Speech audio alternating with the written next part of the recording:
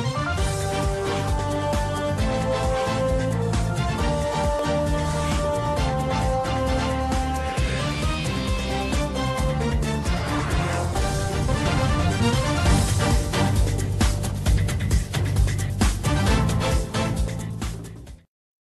Aumentano di poco i casi di coronavirus in eh, Puglia, 84 rispetto ai 63 di eh, giovedì, mentre cresce il dato nazionale. La ministra dell'istruzione Azzolina invia un'indagine dopo che in un liceo di Roma è scattata la protesta di alcune alunne per un comportamento poco cortese della vicepreside che avrebbe invitato a non indossare minigonne. La riforma della giustizia colpisce i tribunali, più organico nel tribunale di Foggia, lo conferma il ministro della giustizia Bonafede in visita a sorpresa nel capoluogo d'Auno. Dalle arti marziali importanti convocazioni per le atlete ofantine di Fighters di Bisceglia Colucci e ASD Chito Ryu.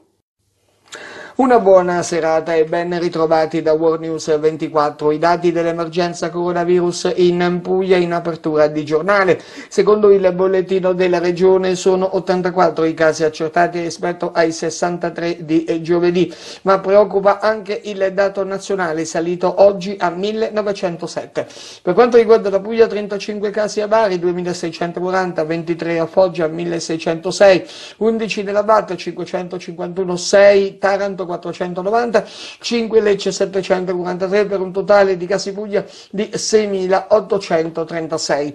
Intanto polemica di una vicepreside eh, eh, sessista in un liceo romano nel quartiere della Garbatella. Per questo la ministra dell'istruzione Azzolina ha aperto una indagine in merito alla dichiarazione della vicepreside secondo cui avrebbe invitato le alunne a non indossare eh, minigonne. I banchi infatti secondo la vicepreside sono stati tolti per rispettare il eh, distanziamento e le gonne troppo corte attirebbero gli sguardi dei professori. Non la pensano così le studentesse e gli studenti che parlano di vera provocazione sessista. Tra l'altro hanno appeso un eh, cartello davanti alla loro aula scolastica dicendo non è colpa nostra se gli cade l'occhio.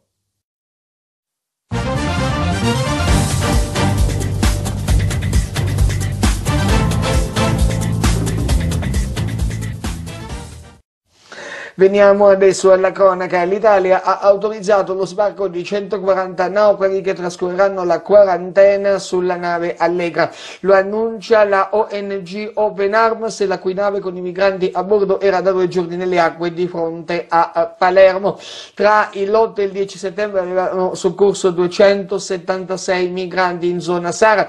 Malta aveva risposto no allo sbarco. Ieri si erano lanciati in mare 75 naufraghi, poi salvati dalla Guardia Costiera, oggi altri 48 hanno ripetuto lo stesso gesto.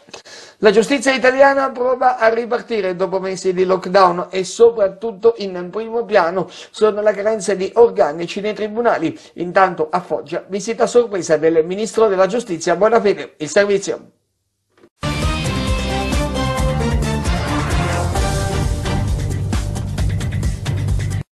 L'emergenza coronavirus sta facendo pian piano ripartire le attività delle altre discipline considerate minori, ma piene di entusiasmo e di emozioni. La prima notizia riguarda la judoka della ASD Chito Ryu a Cerignola nel Foggiano a Ora di Palo, chiamata per due raduni nazionali. Il primo dal 31 agosto al 6 settembre già svolto e il secondo dal 24 al 27 settembre presso il Centro Olimpico Federale al Lido di Ostia.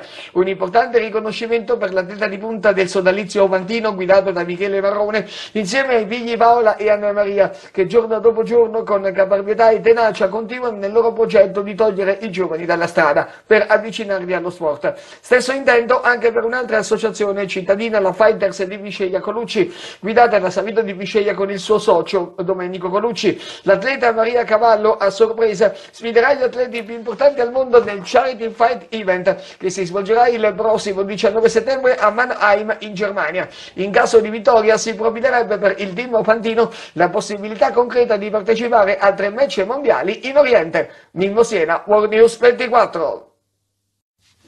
Pallavolo, un formidabile colpo di mercato chiude il quadro delle roster della Fenice Libera Virtus pronta a disputare dal metà novembre il campionato di volley femminile Serie B1. L'ultimo arrivo risponde al nome di Alessia Montechiarini, laziale classe 94, che difenderà il muro assieme a Camilla Neriotti. Scelta personalmente da Marco Brevieri, la neo giocatrice conosce bene questo campionato e approdata ad Altino, dove ci è rimasta per ben sei anni. Ultima squadra di appartenenza, Orsogna. Nelle sue prime parole si evince la combattività e l'orgoglio di fare bene in terra di Puglia. Il progetto è ambizioso e ho tanta voglia di cominciare a lavorare, vista l'amara conclusione della passata stagione.